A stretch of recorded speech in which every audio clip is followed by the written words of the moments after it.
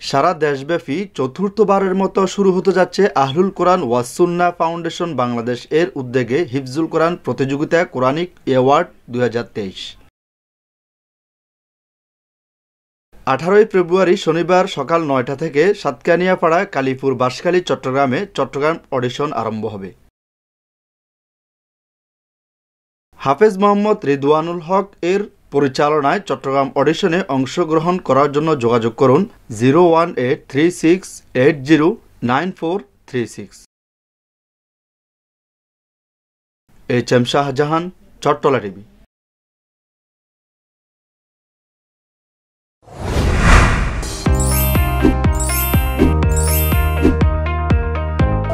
Chattala TV, ইতিহাস, ঐতিহ্যের প্রতিচ্ছবি।